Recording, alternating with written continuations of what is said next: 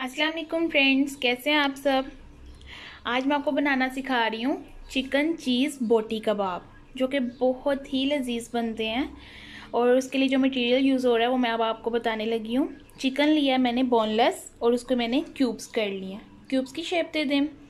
दही लेना है आपने हाफ़ कप अदरक लहसुन का पेस्ट लेना है आपने one spoon one tablespoon हरी मिर्चों का पेस्ट लेना है आपने वन टेबल स्पून सिरका लेना है आपने वन टेबल स्पून लाल मिर्च पाउडर वन टेबल स्पून नमक हसबे ज़ायका मैंने हाफ़ टी स्पून लिया काली मिर्च का पाउडर वन टेबल स्पून और ज़ीरा पाउडर वन टेबल स्पून इन सब चीज़ों को अब हम मैरिनेट करने लगे हैं। ये देखें सबसे पहले चिकन में मैं डाल रही हूँ सिरका, ताकि ये अच्छे से गल जाए और इसको मिक्स कर लेना है। ये देखें अब एक आपने बाउल लेना उसमें अपना दही ऐड कर दें। और अदरक लहसुन का पेस्ट इसमें ऐड कर दें। मिक्स हरी मिर्चों का पेस्ट जो बनाया हुआ था, वो भी ऐड कर दें।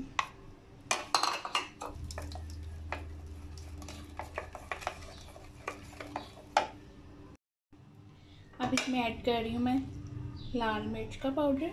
ये इसलिए डाल रही हूँ ताकि जब हम चीज़ डालें तो ये स्पाइसी ही रहे। नमक, काली मिर्चें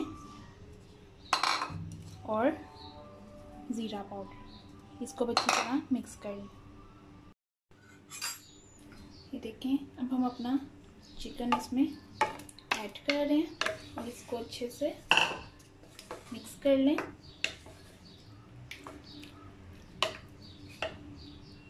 ये देखें चिकन मैरिनेट हो गया। अब मैं इसको थर्टी मिनट्स के लिए रख देने लगी हूँ।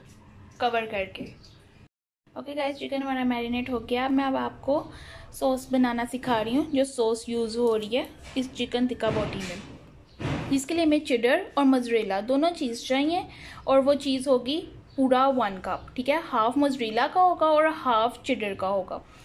काली मिर्च का पाउडर लिया मैंने हाफ़ टी स्पून और ये मैंने लिया है मैदा वन टेबल स्पून और मैंने लिया है दूध हाफ़ कप और ऑयल वन टेबल स्पून अब ये देखिए, हमने एक पैन ले लिया उसे ऐड कर दिया, और ये जो मैदा लिया हुआ था, वो ऐड कर दिया।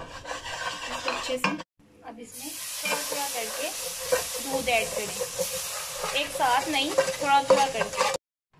देखें अब इसमें हम अपना काली मिर्च का पाउडर ऐड कर दिया और जो हमने चीज़ ली हुई थी, उसमें से हाफ़ कप इसमें ऐड करेंगे। और जैसे ही ये थोड़ा स्टिकी हो जाएगा, आपने फ्लेम ऑफ़ कर देना। ये देखें अब हमने स्टिक ले लिया, उस पर ही चिकन को रोना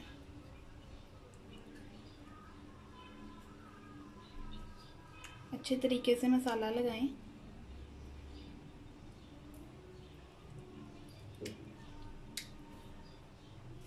ये देखें, ऐसे स्टिक्स तैयार करके आपने रखनी है और जो मसाला है, वो अच्छी तरह से इसके ऊपर लगा दें।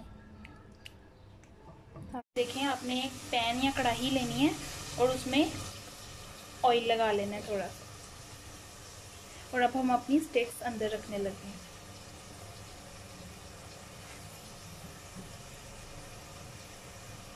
इसको अच्छे तरीके से आपने पकने देना है और फिर साइड चेंज कर लेनी है। ठीक है? इसकी साइड चेंज कर देनी है और दूसरी साइड से कुक होने देनी है।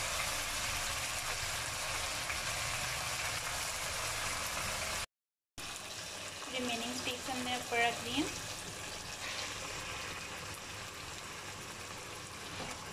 अब इसको पकने दें। हमने बाहर निकाल लिया स्टिक्स को। अब हमने इसकी लास्ट कोटिंग करनी है।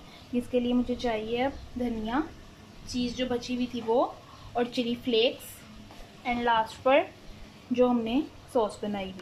ये देखें, अब आपने एक पैन लेना है। उसमें ये जो हमारी स्टिक्स थी, ये सारी ऐसे सीधी निकाल निकाल कर रख देनी है।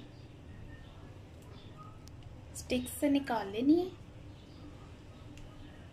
देखें, हमने एडजस्ट कर दिया और फ्लेम बिल्कुल लो कर दिया, ठीक है? और ये जो हमने पेस्ट बनाया हुआ था, अब वो हम पर अप्लाई कर रहे हैं। अच्छे से।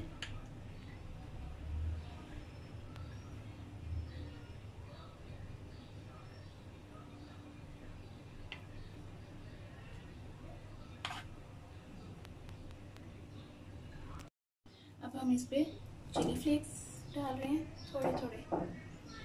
जिसको ज़्यादा स्पाइसी पसंद है तो ज़्यादा ऐड कर। और अब ये लास्ट पर जो हमने चीज़ रखी हुई थी, वो ऐड कर दें।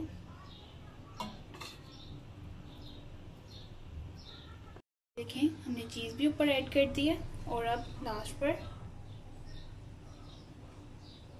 धनिया ऐड कर दी और फ्लेम लो पर ऑन करके इसको कवर कर दें। और जैसे ही चीज़ मेल्ट होने लगेगी, हम फ्लेम ऑफ़ कर देंगे और इसे बाहर निकाल लेंगे। चीज़ मेल्ट हो चुकी है, अब हम इसे डिश आउट करते हैं। ये देखें गाइस मैंने इसे डिश आउट कर लिया और हमारे cheesy chicken tikka boti is ready. बहुत यमी और स्पाइसी लग रही है। Hope you like it and must try cheesy chicken tikka boti is ready.